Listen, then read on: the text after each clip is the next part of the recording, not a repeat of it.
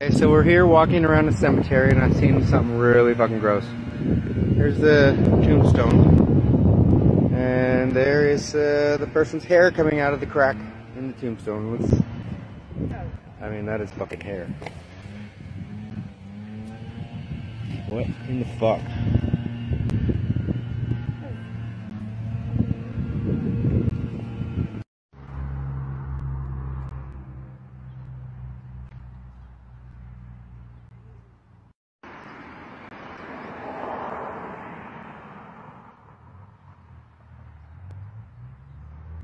Well, we're back at part two and they still haven't fixed it.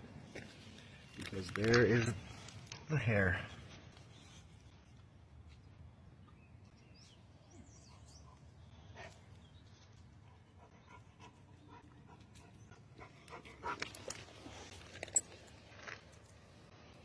I'm guessing it's this tree that's breaking the foundation up.